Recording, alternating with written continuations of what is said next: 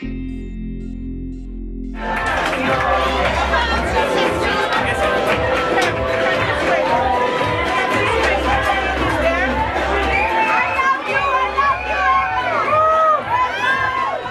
you supported the Conservative Party, the New Democratic Party, the Green Party, or the Bloc Québécois, I will be a member of parliament, an MP for all of you.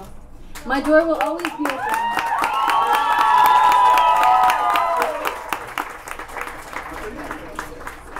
My door will always be open to you, and my team will always welcome you with open arms to help you as best as we can. I would also like to thank all of those who surrounded me these last weeks. Your belief in me never flinched, your energy was contagious, and it filled me with an incredible faith in the human capacity for collective action and positivity. Sénateur.